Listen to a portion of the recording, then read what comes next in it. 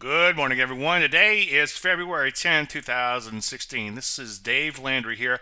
I wanted to do a quick, brief update on using discretion. I'm often asked about returns on the service, and one thing I like to point out is you have a brain in your head, so use it to squeeze out a few extra bucks here and there, and sometimes a lot more than a few. Notice we had an initial profit target of 72 on this AIZ. This minus one means it's a short, meaning that obviously we want the stock to go down.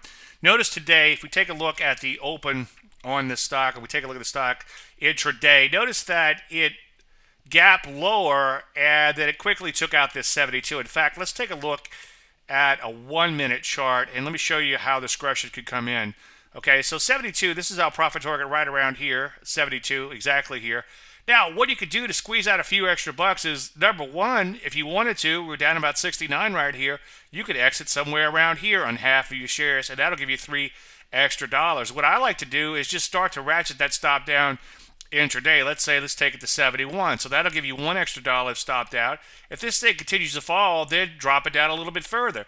Now, two things. One, if it's down here in the low 60s and you're happy with that, then take partial profits there or continue to trail this stop intraday and by the end of the day, exit on the close. And you'll be able to squeeze out a few more dollars on the trade. So this is a great example, great live example of using discretion. Any questions, dave at davelandry.com. Happy trading, and may the trend be with you.